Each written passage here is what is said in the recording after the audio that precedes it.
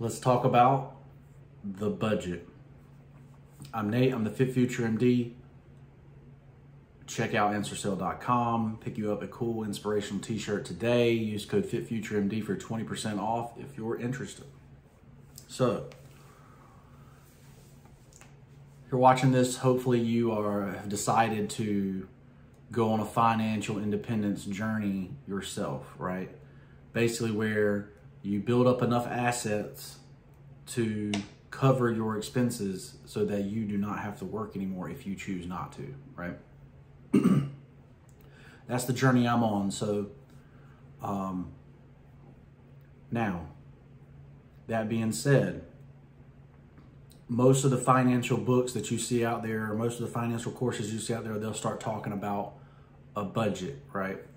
Um, from Dave Ramsey to whoever else you might follow, they're always going to say budget, budget, budget. Uh, sit down and you know comb through your budget, figure out you know what expenses you can cut and all that kind of stuff, right? So just like in my fitness journey, right? I want to find what's called a happy medium, right? So, so a place where you know I can be on a journey and it just be automatic. It just be easy, right? Um, to continue the journey, right? You're not going to be like so emaciated with, let's just say from fitness, right? So you're not going to be so emaciated with food that for 12 weeks that you all of a sudden go crazy on food and you gain the whole 30 pounds back again, right? Like that's the, you want something that's consistently doing the same thing, right? So for me, I don't do a line item budget, okay? Now, people are gonna be scratching their head and uh, saying, well, why wouldn't you do a line item budget?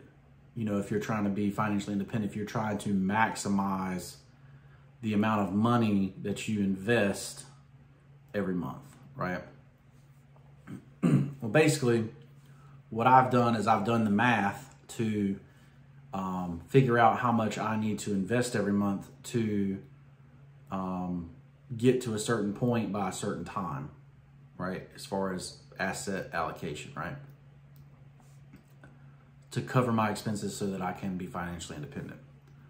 Now, that being said, so I make that whatever that amount is for you. So say it's 500 bucks a month, a thousand bucks a month, um, 10,000 bucks a month, you know, whatever your, your case may be, you know, you're going to make that come out of your money that you make automatically, right?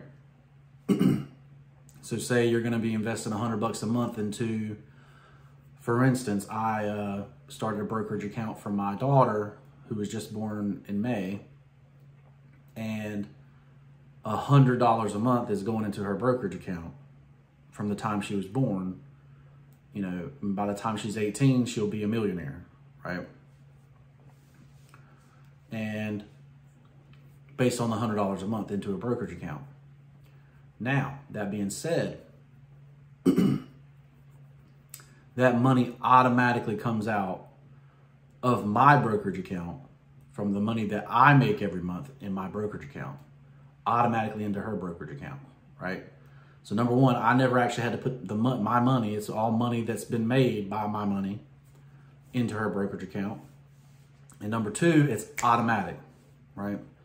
I'm not having to go physically move the money every month to make that happen, right? And so the same thing is going to be happening with your budget, right? So for example, you got a two person income, right? Y'all are making 50 grand each, right?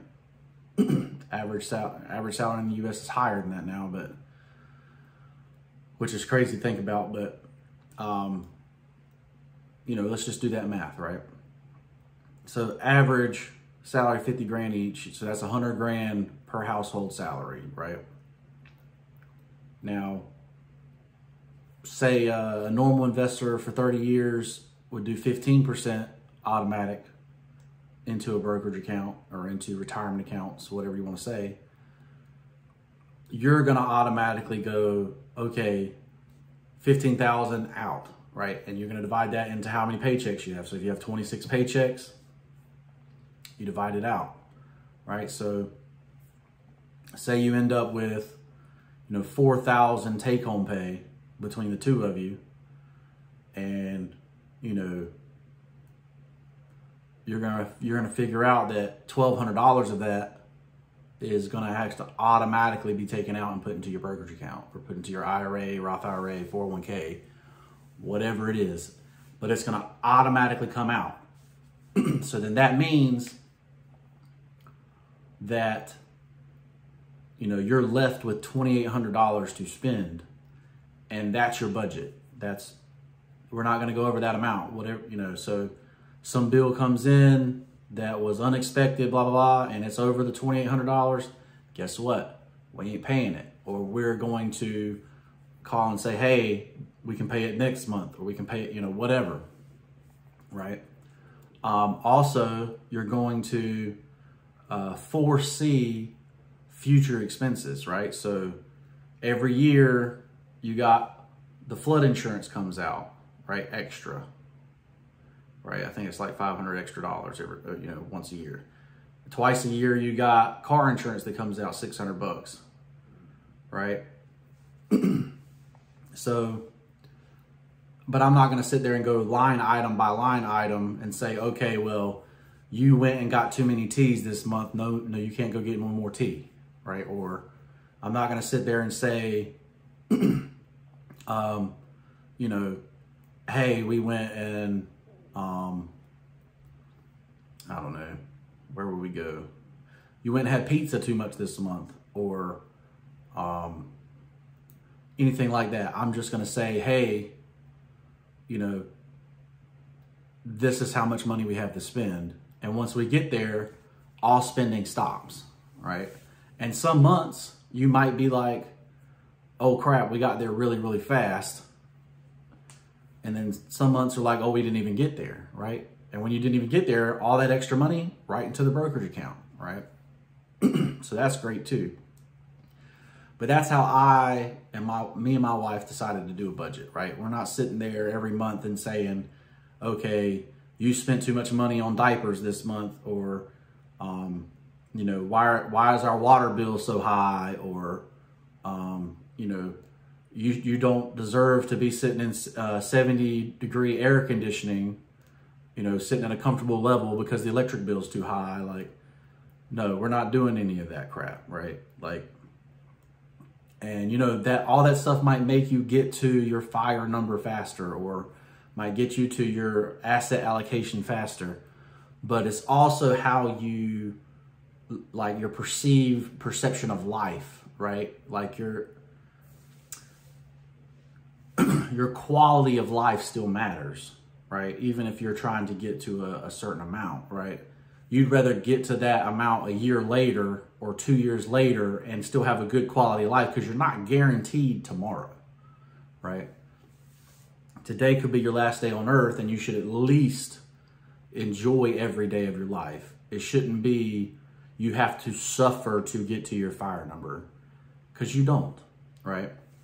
Now, that being this being the case, right? So say you start doing this math and you say, "Oh, well, there's no way I can put that amount away every month."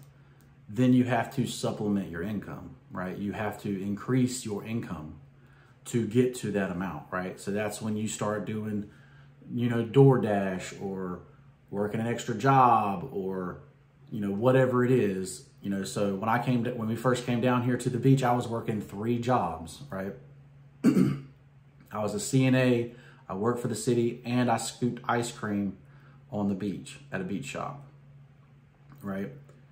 So I was working, working, working to get there, right? And that was honestly at that time, that was to barely make ends meet, right? So, you know, keep that in mind you know, at the end of the day, if you're sitting there and saying, okay, well, I don't have enough money, we're not making enough money to get there, you have to find a way, right?